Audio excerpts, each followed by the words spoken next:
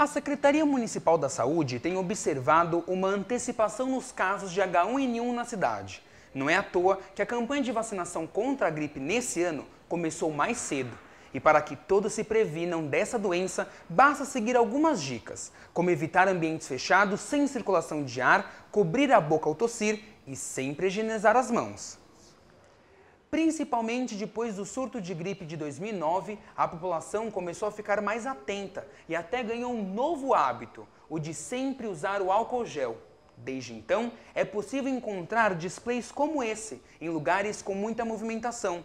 É o caso das unidades de saúde, restaurantes e no ambiente de trabalho. Basta pressionar e esfregar as mãos. Mas você sabia que é um jeito certo de fazer essa limpeza? Eu estou aqui com a Maria do Carmo, que é enfermeira e trabalha na área de infecção relacionada à assistência à saúde, da Coordenação de Vigilância em Saúde, a Covisa. Maria do Carmo, qual que é o melhor para higienizar as mãos? O álcool gel ou lavar com sabonete e água? É, desde que as mãos não estejam visivelmente sujas, o melhor é o produto alcoólico em gel esse dispensado nos serviços de saúde, que tem sempre o dispenser. E qualquer álcool gel serve? Não, tem que ser produto para a saúde.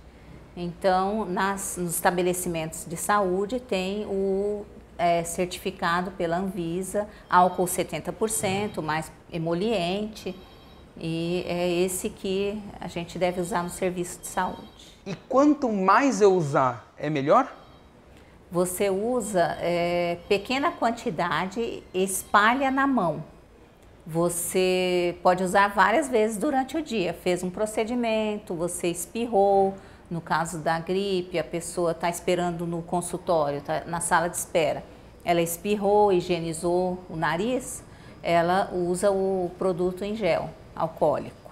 Então, gente, é só uma pequena quantidade, como a Maria do Carmo falou, não precisa utilizar muitas vezes. Às vezes, duas pressionadas já são suficientes. Maria do Carmo, como que a gente pode fazer para cobrir toda a mão? Existe uma técnica específica? Sim, você coloca pequena quantidade na mão e espalha é, em toda a extensão da mão.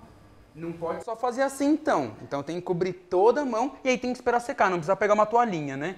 Não, o álcool ele evapora. Então você massageia até completa a absorção do produto e se ele mesmo assim ainda restou um pouco, até mostra que você colocou o álcool a mais.